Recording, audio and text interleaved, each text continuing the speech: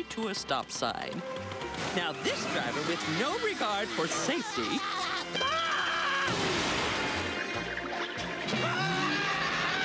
Well, at least he had his seatbelt on.